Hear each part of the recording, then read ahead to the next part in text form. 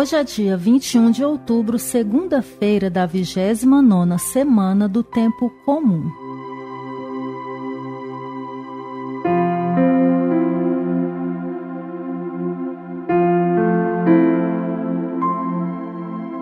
Na narrativa do Evangelho de hoje, Jesus nos adverte sobre a ganância e nos diz que não adianta acumular bens aqui na terra para nós mesmos, pois os bens nos são dados para serem partilhados e colocados a favor da vida, e não para ser vivido de forma egoísta, sem nenhum sentimento de misericórdia para com os mais necessitados. Não adianta termos bens suficientes para uma vida confortável, quando muitos ao nosso lado não têm um mínimo para viver. Ser para Deus é viver a vida para servir, se doar e se entregar ao próximo. A vida perde o sentido quando se vive pela cobiça e pela ganância. Peça ao Senhor a graça da libertação do apego às coisas e que te faça mais sensível às necessidades dos irmãos e irmãs, para assim viver o caminho da solidariedade e da partilha.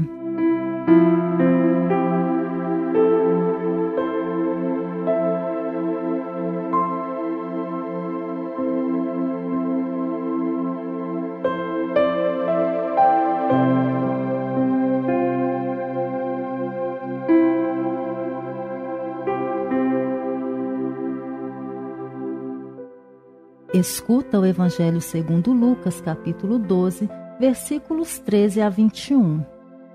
Naquele tempo, alguém do meio da multidão disse a Jesus: Mestre, dizem ao meu irmão que reparta a herança comigo. Jesus respondeu: Homem, quem me encarregou de julgar ou de dividir vossos bens? E disse-lhes: Atenção, tomai cuidado contra todo tipo de ganância porque, mesmo que alguém tenha muitas coisas, a vida de um homem não consiste na abundância de bens. E contou-lhes uma parábola. A terra de um homem rico deu uma grande colheita. Ele pensava consigo mesmo: O que vou fazer? Não tenho onde guardar minha colheita. Então resolveu: Já sei o que fazer. Vou derrubar meus celeiros e construir maiores. Neles vou guardar todo o meu trigo junto com os meus bens. Então poderei dizer a mim mesmo: Meu caro, tu tens uma boa reserva para muitos anos. Descansa, come, bebe, aproveita. Mas Deus lhe disse: Louco, ainda nesta noite pedirão de volta a tua vida. E para quem ficará o que tu acumulaste? Assim acontece com quem ajunta tesouros para si mesmo, mas não é rico diante de Deus.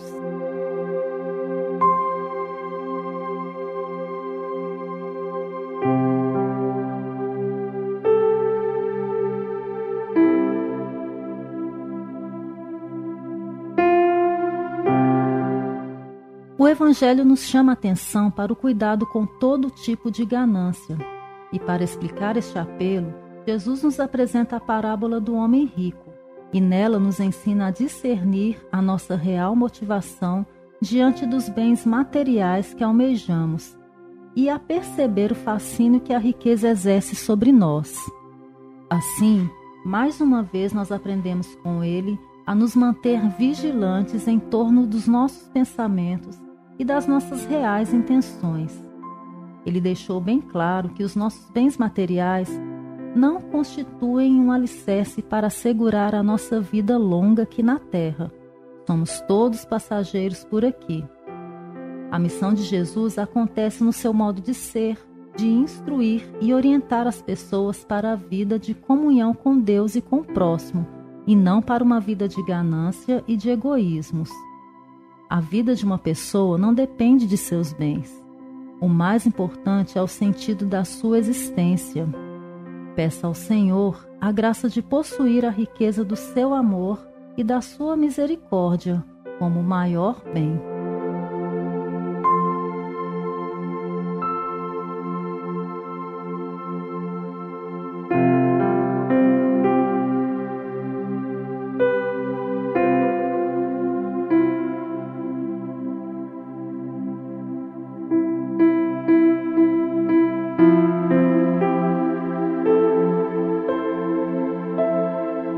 Para quem você é rico? Para si mesmo ou para Deus?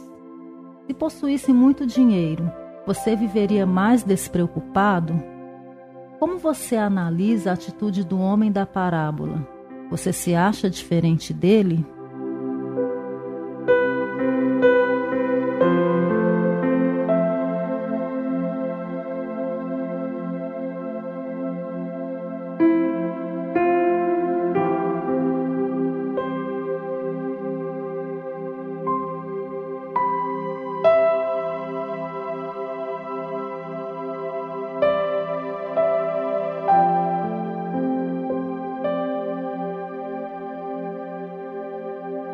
E para quem ficará o que tu acumulaste? A nossa vida está nas mãos de Deus e somente Ele tem o controle sobre ela, sejamos nós pobres ou ricos neste mundo. No entanto, podemos ser ricos diante de Deus quando colocamos tudo o que possuímos à sua disposição, doando-nos aos outros com alegria. É o que nos diz José Tolentino Mendonça na sua prece. Mais importantes que os talentos são os dons. No início deste dia, ajuda-nos, Senhor, a ver claro que o mais importante não é o que podemos oferecer aos outros, mas quem podemos ser para os outros. E não nos ocultemos no cômodo casulo da indiferença ou da mera correção. Nem nos esgotemos nos corredores desolados das pressões e da pressa que este dia traga a oportunidade de partilharmos o dom de nós próprios. Mais importante que os talentos são os dons, porque por estes é que exprimimos a nossa condição de filhos bem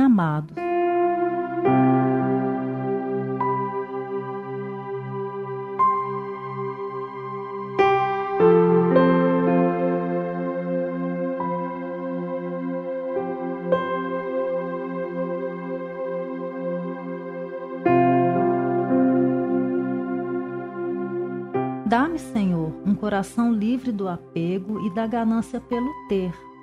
Ter coisas, ter títulos, ter cargos, ter prestígio.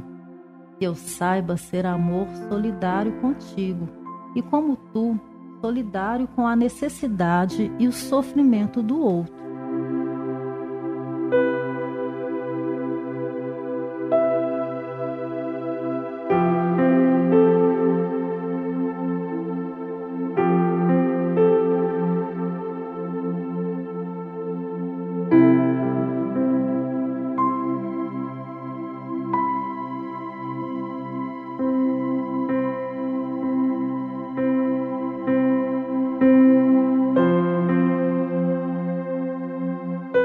Nosso que estais no céu, santificado seja o vosso nome.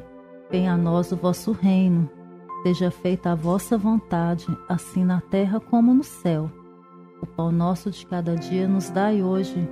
Perdoai-nos as nossas ofensas, assim como nós perdoamos a quem nos tem ofendido.